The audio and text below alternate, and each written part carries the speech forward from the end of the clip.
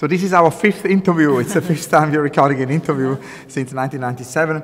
And I thought it would be great to begin with the beginning. And um, uh, I was wondering, what was your epiphany? How you came to architecture? How it all started? As an architect, you mean? How? Because you once mentioned Kikutake Yeah, and yeah, that yeah. magazine story. Yes. So I tell again this. Yes. so when I was a child, and uh, by chance I saw my mother's magazine, and then there was Kikutake's Sky House.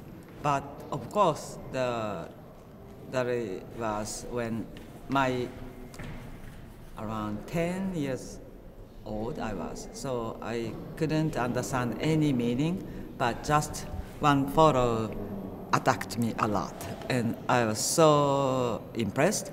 And then I'm, oh, this should be house, a building. And then, but after I forgot. And in Japan, uh, we must decide the direction when we try to enter the university. And I remember when I was a child, I was a big, uh, I was very interested in that building. So I decided to try, to try. And then I went, I joined the architecture school. And uh, soon I found the photo and I realized, oh, that, i that was a photo, what I saw when I was a child. And then it make, made me um, more because the architecture is for, was for very for me it's very abstract but that the photo led me to continue to have an interest And what about you? Mm, I, I don't have such a kind of experience that Sejima-san told. In my case, I, I was an architect when I realized I don't have any kind of decision making to be an architect. So it just happened. Yeah, it just happened. But it would be interesting to hear a little bit more about your Kikutake is, is one great example, but about your, your influences, because I read this text by Edinburgh where he talks about this idea that in Japan there is maybe less this idea of young architects having to kill the father.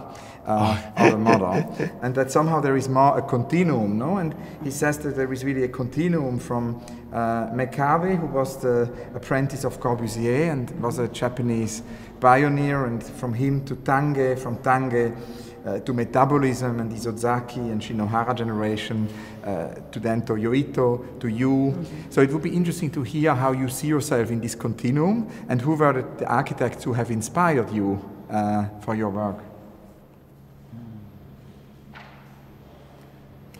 I think uh, we have been influenced, influenced by the, so many Japanese architects who are great. But uh, I can, like, uh, for instance, the Shinohara and Toyo Ito or Hara, they are all great to me, to us, I think.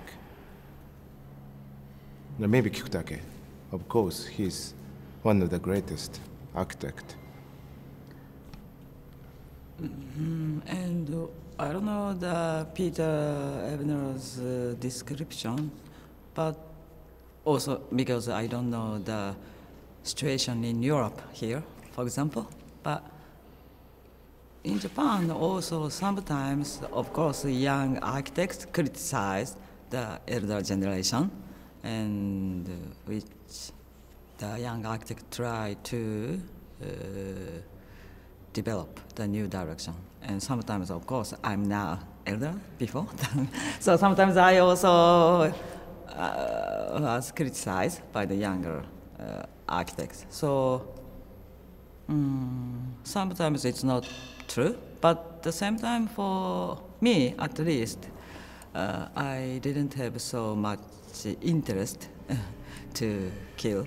the, uh, more I tried to learn, or I had a lot of influence and I learned a lot.